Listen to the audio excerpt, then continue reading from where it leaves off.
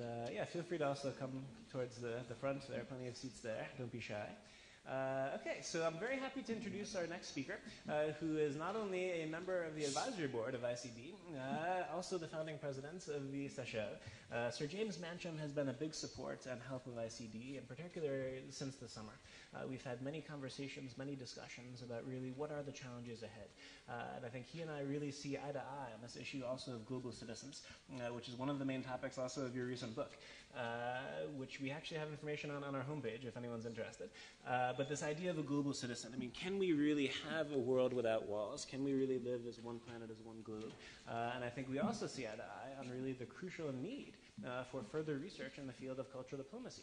Uh, as I said, really, you know, the main reason why we're doing this work at the Institute for Cultural Diplomacy is trying to make a contribution, to get the dialogue going, to increase the research, increase the teaching, uh, and also the programs. So I think there I see it as, a, on the one hand, a positive potential, on the other hand, a huge challenge. Uh, we can't do it alone. Uh, so we're really hoping also that we can extend also the advisory board through also this, this event, uh, these four days, also extend our network. And I'm hoping out of the 200 participants who are here, hopefully we'll have 200 partners. Uh, in the sense we really would love to stay connected with you and to work with you uh, with your own initiatives and also with ICD initiatives in the future. Uh, so see that as my invitation to please stay connected with us. Uh, there's a lot of work to be done and we really can't do it alone. Um, the topic of the discussion now, more or less, will also be this issue global citizen. Uh, Sir James uh, Mancham is going to be speaking from his personal as well as his professional experience. The topic on the agenda, uh, which is really a guide, not necessarily a limitation, uh, is national sovereignty and the developments uh, of international relations since 1989, the example of the Seychelles, uh, which is a fascinating example, not only in terms of the, the massive implications of the environment uh, and climate change, know, uh, but also in terms of its political history. so I'd please ask everyone to give me a very warm welcome for Sir James Mancham. Thank you.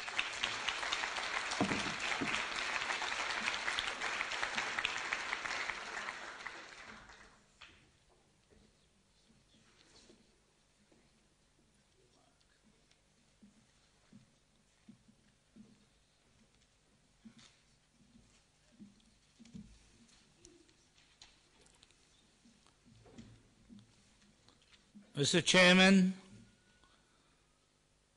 dear friends, today we are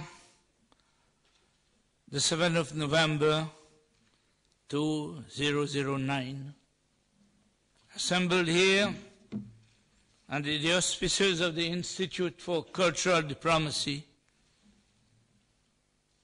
to discuss a world without walls. Well, on the 11th of August, 1939, the day I was born, the bells of the cathedral in the small town of Victoria on the island of Mahé in the Seychelles kept on ringing. For a while, my mother thought it was ringing to announce my arrival in this world. But sadly, this was not the case.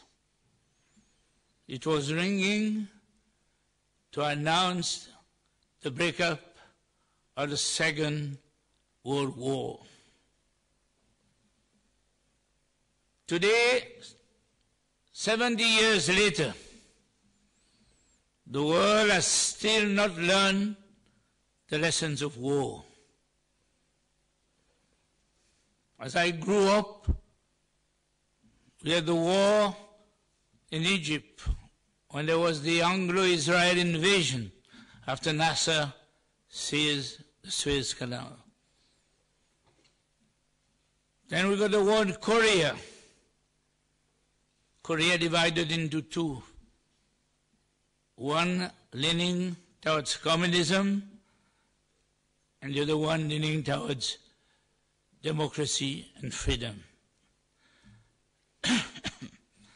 After that, we've had war in Ireland, the war in the Middle East, which never stops.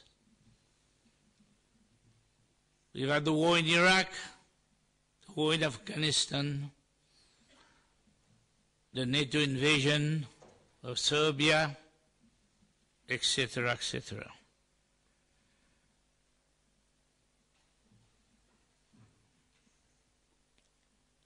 But if we are going to think about war, perhaps the most important one which characterized life in many nations for many, many years was the war we called the Cold War.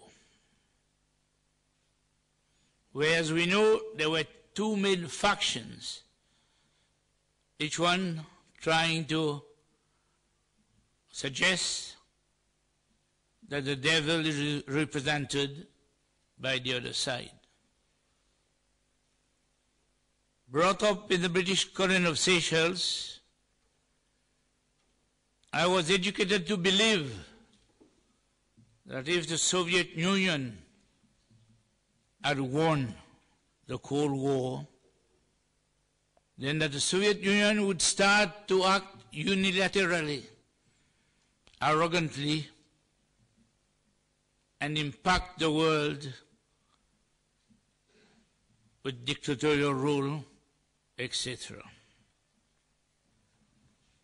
But the Soviet Union did not win the Cold War.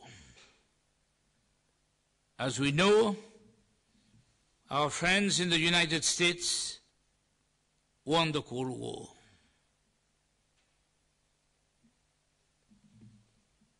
Soon after, there was a group of right of the right Americans who compiled a report styled Pax Americana. Peace the American way.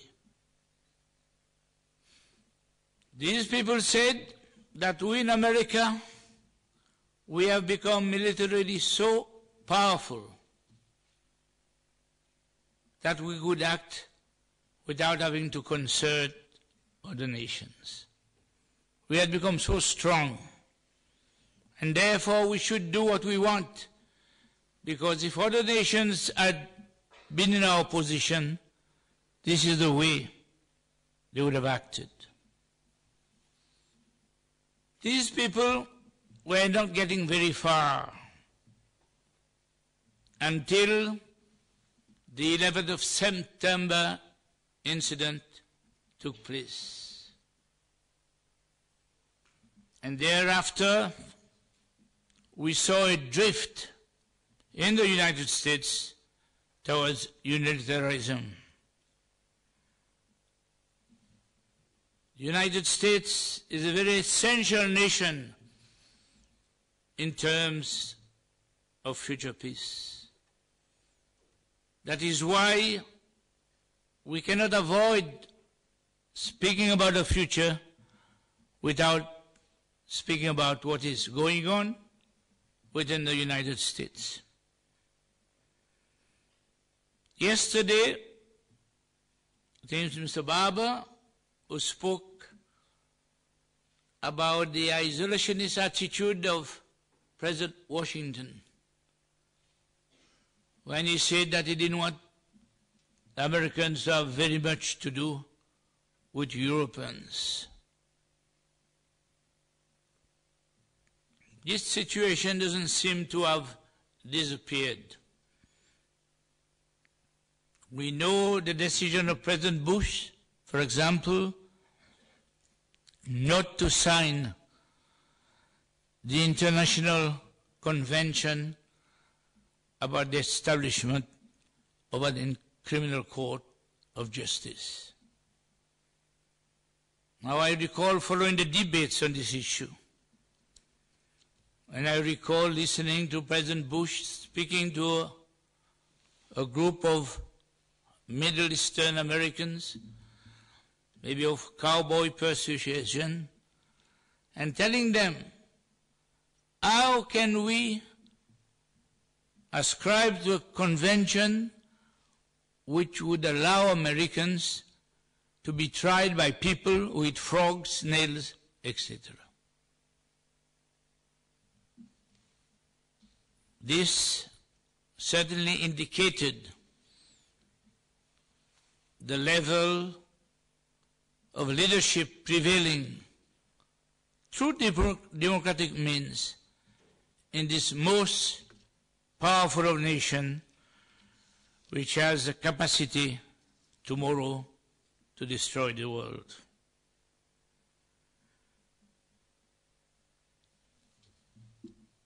I have spoken and I'll speak a little bit more about my disenchantment with certain aspects of U.S. foreign policy.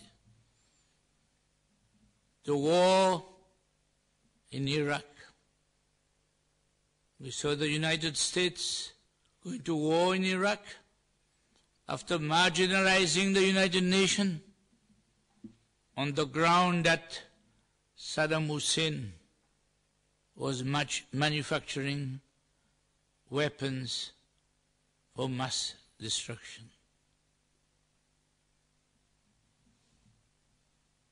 At the very same time, let's not forget, the United States found the audacity to go before its own Congress to ask for billions of dollars to develop something even more powerful called small nukes. I recall the debate on this issue when the late Senator Ted Kennedy said, Will one eighth of an Hiroshima do? Will one fourth of an Hiroshima do? Will half of an Hiroshima do? If we manufacture them, we could ultimately use them. What a stark picture of the potential before us. Yes, my friend, what is the state of the world today as we sit and debate on the question of peace, enduring peace, and a better world order? As a member of the Academic Council of the European Council for Peace Development, I have had several opportunities over recent years to go to Belgrade and Kosovo to try and dry up the water where it is swimming today. But on the recent visit to Kosovo, as I drove across that sad country, I found all these military contingents. There was, I think, German, Austrian, Dutch, French, every one of them heavily loaded with big tanks, with AK 47, you name it, they had it. And that night I started to reflect how much money is being spent in peacekeeping as opposed to peacemaking.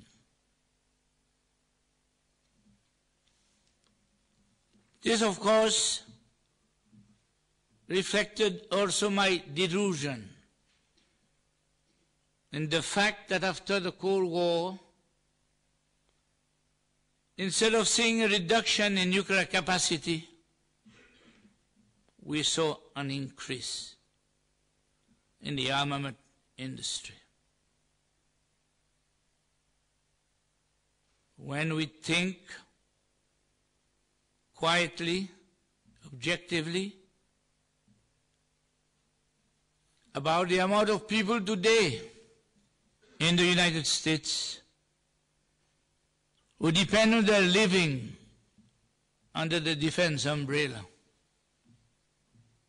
we bound sometimes to ask whether this not, great nation has not suddenly become a vested interest in conflict. Coast Guard FBI, CIA, research, military, navy, air force gets bigger and bigger. Yet we all know that the future, the solution to the problem we face is not to be achieved, cannot be achieved through military means. Some months ago, I was on the way to Korea to attend a peace conference. And I had to transit through Paris and early morning catch a flight to Seoul. That morning, when I got down where the taxi normally are, there was no taxi. But there was an American gentleman with a suitcase. And the first taxi came, he was in front of me, and he was about to take the, the, the taxi when I said, Sir, if you're going to Charles de Gaulle, do you mind if I share the trip with you? He said, Not at all. Please join me.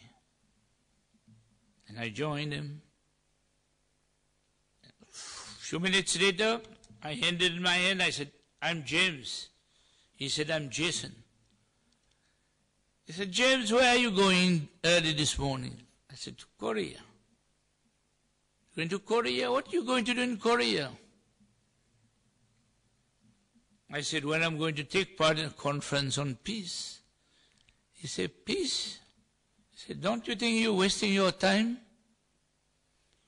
There's been war, there's been problem all these years, and you think you're going to achieve peace? I said, my friend, except my understanding is that the next war could have a nuclear dimension. He said, James, you got a point. And we carried on. Two minutes later, I said, James, I hope you don't mind. I would like to have a talk to my boss in Washington. So he took his mobile in front of me and he spoke. And he was reporting his success in Paris selling military lasers to host of third world nations. So there you see that sort of scenario we face in the world today. There's one man from some islands down there heading for Korea to try and speak about peace.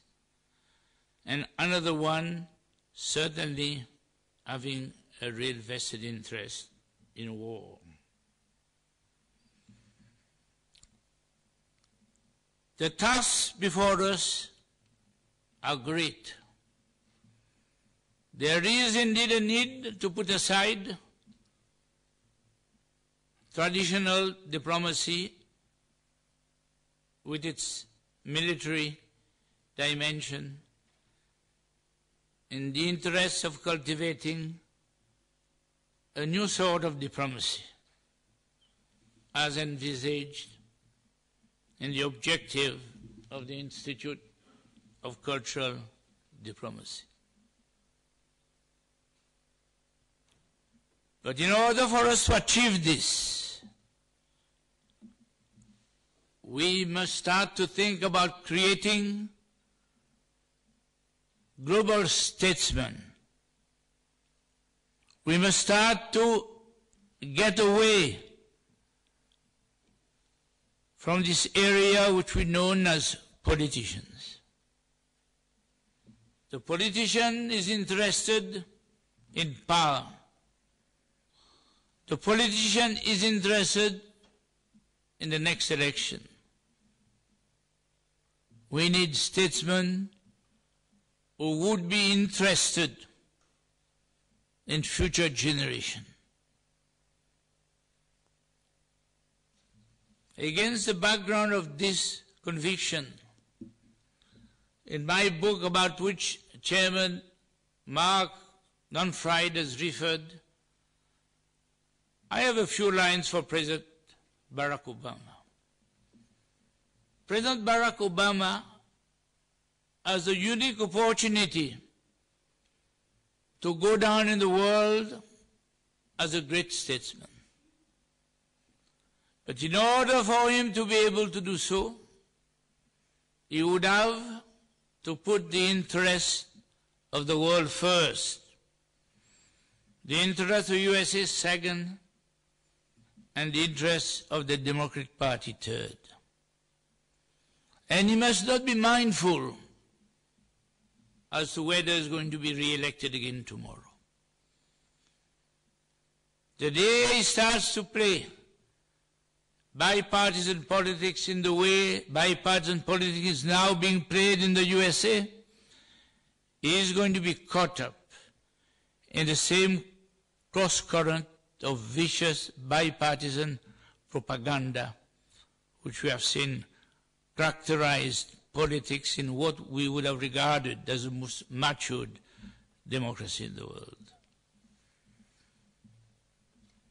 I believe we must find a lot of statesmen also emerging from the United States in order to try and bridge the gap behind the actual partisan divide.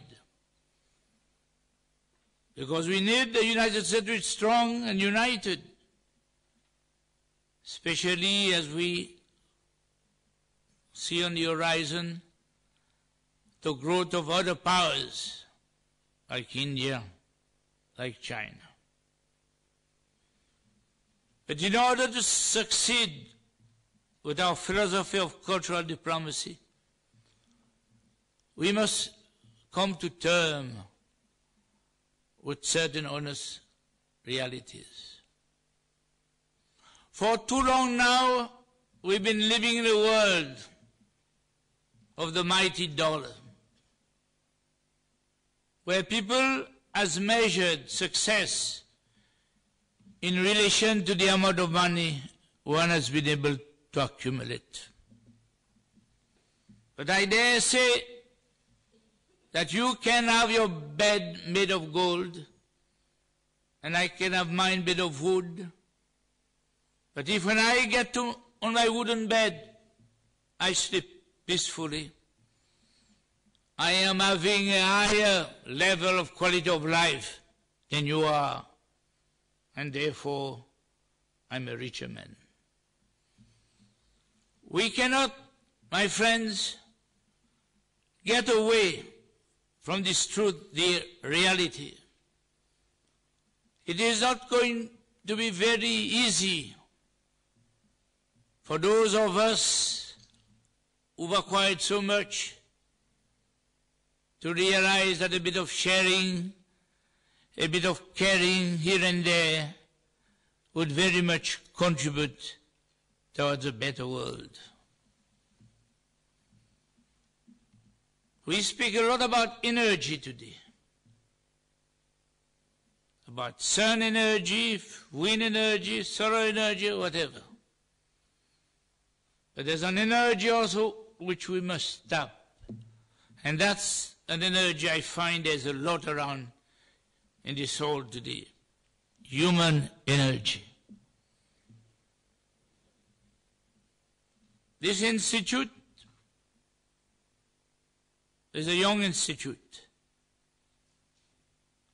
but its life should be and must be far, far, far longer than we can think. Because the tasks which we've set ourselves to do, not going to be easy. It's going to be most challenging. It's going to be difficult. But unless we start, we're not going to get anywhere. That's where I command all of you who are here today because you support the core principles of the Institute. Make no mistake that things are not going to be easy, but with the amount of energy which we have, there's nothing which we cannot change. So let us all work together, fully committed to do our best because the world is in a messy situation. And I am sure that many of you may have certain questions for me, more or less focus on this beautiful country I come from, Seychelles. For this matter, I'll give my time, myself some time to answer some questions rather than keep going along the line of global politics. Thank you.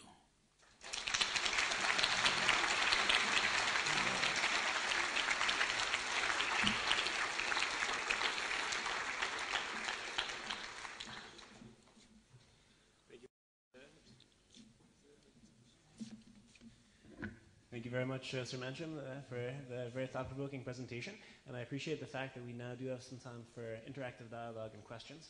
I will give the microphone to my colleague Matthias. If you could please just raise your hand. Uh, who would like to ask the first question?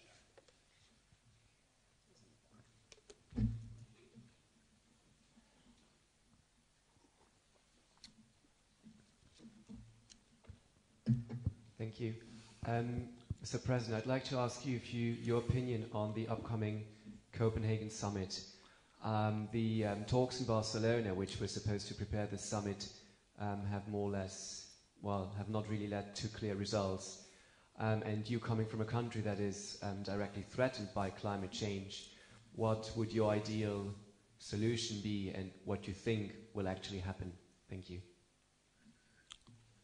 Well, I think we put a lot of faith in this Copenhagen gathering. I also happen to be a member of the board of, of advisors of World Future Council, which is headquartered in Hamburg, Germany. And for months now we've been working on different presentations to make in Copenhagen. We did not expect to see agreement in the way we anticipated it to be needed, taking into account prevailing conditions. Yes, this global warming question is of great concern. In Seychelles, we are not perhaps as affected as some other island nations because half of our islands are granitic, which means they rise to several thousand feet. They build on solid rocks and granite soil, and uh, therefore they are, are not as menace as the other group of our islands, which are of coral formation, like the Maldives, Bahamas, etc. And um, certainly, we are very, very concerned, but the reality is that economically we are bankrupt. So like most of the nations, we belong to the school of thought that those who are responsible to create this situation by over-industrialization, etc., should come to our help. But we live at their mercy. Any other question? Can I ask about the, uh, the role of small countries? Uh, uh, hello? Hello? Yes. And uh, my point really is that in the old uh, world order, pre 89, there were two major power blocks, and then there was the non aligned movement.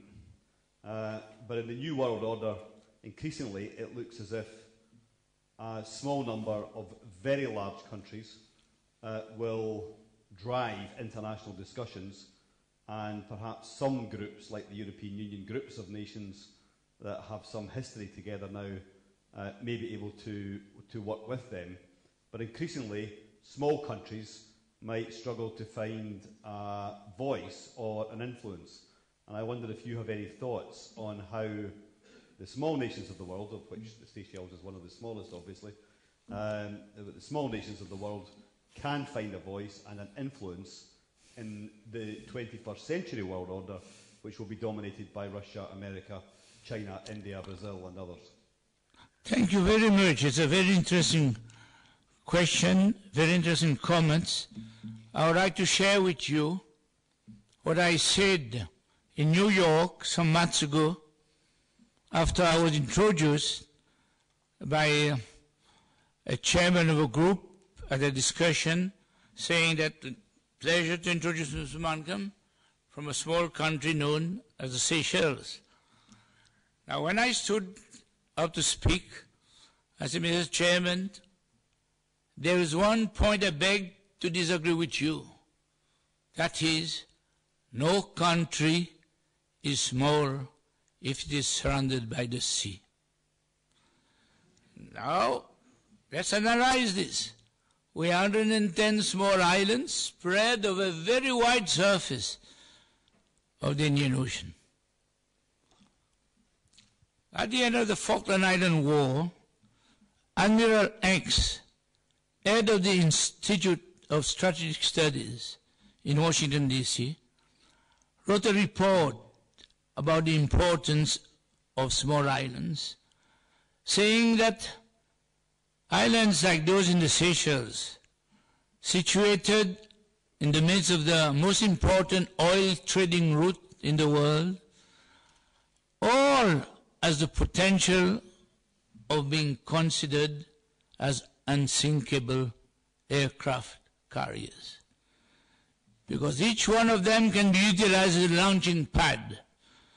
And it is, in fact, the raison d'etre as to why the United States today has next to Seychelles the most sophisticated military naval complex outside the United States on the island of Diego Garcia. Now, in terms of voice, this is also something which I would like to talk about because there are a lot of representatives from countries which uh, relatively are small compared to the giants. Let me say that in the global village of today, we must assert that the fact that we come from small nation doesn't mean we are small people. Today we live in the world of mass media. You may come from Russia, you may come from the United States, but if you appear on the television speaking nonsense, people will find out this man is speaking nonsense. And you may come from the smallest country too, but you speaking sense, people also will see. he is telling the truth. So I don't think we should deter ourselves in terms of contributing towards a better world order by saying that the people in the bigger nations have got a better right to speak than we have. So let's all of us have a voice in the future of the global village. We still have time for a few more questions. Uh, actually, Matthias, you have one? Uh, maybe if you could, Matthias, go over to that side, and then we'll, uh, I'll stay on this side. We can take maybe uh, in the fronts here. There are a few. And then I see also in the back.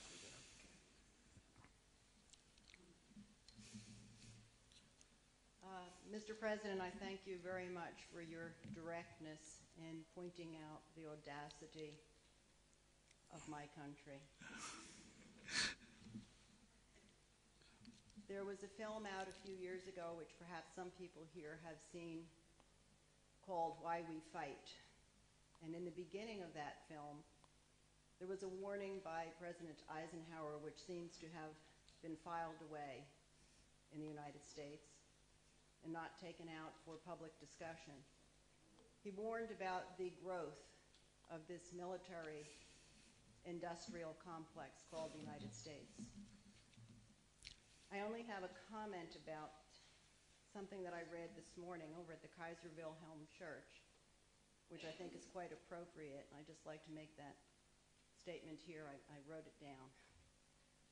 In the Kaiser Wilhelm Church, you are asked to remember that the, these, this vestibule is not a museum, but a place of remembrance, contemplation, and exhortation. You see these pictures, and they are a challenge to us all to constantly resist the solution of political problems by means of war. They call us to reconciliation and understanding, the basis of peaceful relationships between peoples and nations. And I implore this next generation that is here today to please heed those words. Thank you. I would like to say how much I welcome your intervention. And you may be glad to hear that in the book which I've recently published, Seychelles Global Citizen, I have utilized a quote from former President Dwight Eisenhower, which focus immediately and exactly along the lines of what you are telling us. Yes, President Eisenhower said that the way we have developed militarily, let no one believe that anybody is going to be a victor tomorrow. And he said words to the effect that finally, let this fact alone compel us to sit down on the table of dialogue. Words to that effect. I fully share your standpoint. I'm glad that you're providing the encouragement for us to go along the line of realizing the futility of trying to think we can dominate any part of the world by military means. We have a fact in Seychelles which is showing this very clearly. We've got the biggest navy now, patrolling the Indian Ocean, yet a group of bandits calling themselves pirates from Somalia is playing hide and seek. Every day they're capturing some people in our ocean. Big warships are there, and they've realized the limitation.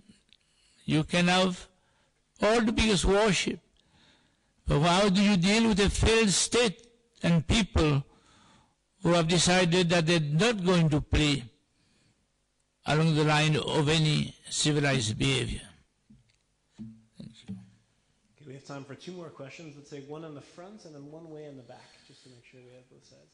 Yeah, there's a question of my mind that uh, I'm a little hesitating to ask because I don't want to, this to come across as disrespectful. I would like to pick up on a subject that the gentleman from Scotland raised and approach it from the very different, very opposite question, uh, part, and that is uh, size of countries, for example, in the United Nations. There's a lot of talk about making uh, the United Nations uh, more equitable by reflecting changes in the world order. Germany, my country, is among the countries obviously that's aspiring to playing a more important role also in the Security Council. My question to you would be, uh, could you imagine that in the course of making uh, the United Nations more representative of today's world, uh, something very opposite could also happen to countries like your country, and that is that there be a weighted uh, vote that would sort of cut the one country, one vote principle down to sort of relative size.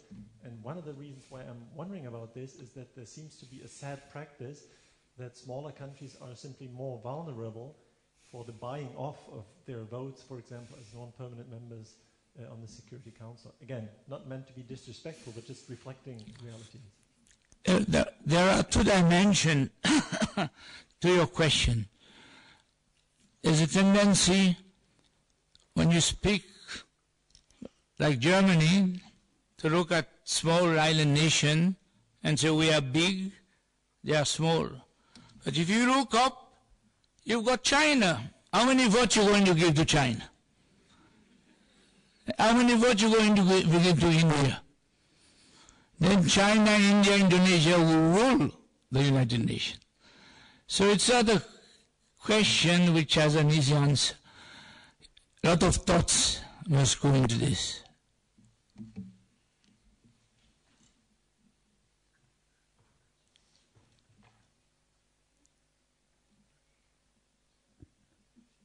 You spoke a bit about creating global statesmen. And as a student of public administration, um, I completely agree with you. And I'm wondering what suggestions you would have for universities and law schools and public policy schools that could help create a new generation of politicians and policymakers that have a more global perspective and goal rather than something that is just merely domestic. Well, we must educate the world and our people about the importance of statesmanship. There is no nation in modern history which has projected so many examples of statesmanship over recent years than this country, Germany. After the end of the Second World War, it prevailed between France and Germany. It took two statesmen, General Charles de Gaulle and Konrad Adenauer, to rise above the level of partisan politics, of the politics of division, and to create that unity of friendship which has been the base of Europe. You go to France today or to Germany, nobody is hating anyone. That's a great sign of what statesmanship brought about. And then think about this phenomena of German reunification. To me, it's a reflection of the maturity of the German people, irrespective of what other negative aspect we may wish to ascribe to them. Matured people, able to bring together the communists of the East with the free enterprise people of the West in a situation today where the leading politician came from the East. So certain things are achievable and statesmanship, I believe, must be underlined as being most important. We must think first about the future of the world. Mahatma Gandhi said, there is enough in this world for everybody's need, but there is not enough in this world for everybody's greed. Maybe we should talk a little bit about this too. Thank you very much. Uh, unfortunately, I think we do need to bring this to a close now in respect for the other sessions. But maybe once again, a big thank you for Sir James you.